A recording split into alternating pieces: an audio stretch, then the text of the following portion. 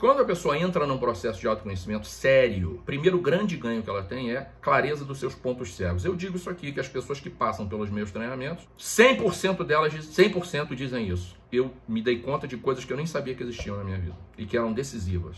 Então, primeiro ganho que você tem. Segundo ganho que você tem quando você passa por um processo de autoconhecimento. Se liga aí, poder de decisão. Aí você tem poder de decisão. Por que, Tamer? Porque você passa a ter clareza de propósito, clareza do seu poder pessoal, recursos para tomar decisões, recursos emocionais para tomar decisões, recursos técnicos, recursos de ferramenta, instrumento para decidir, para tomar decisão. E você descobre também o que você não quer na vida, que é muito importante. Não é só importante saber o que quer. Talvez mais importante seja saber o que não quer. Se você, só, se você já soubesse o que não quer, tava bom pra cacete. Já deixou o seu like e assinou o canal? Não? Toma vergonha, queridão e queridona. Assina as notificações para o YouTube te avisar dos novos conteúdos. Terceiro grande ganho, transformação. Porque aí o cara muda de emprego, muda de casamento, muda de rumo, muda de carreira, muda da porra toda, porque ele é uma, é uma outra visão de vida, é uma outra visão de mundo, e é ali que vai. Por que, Tamer?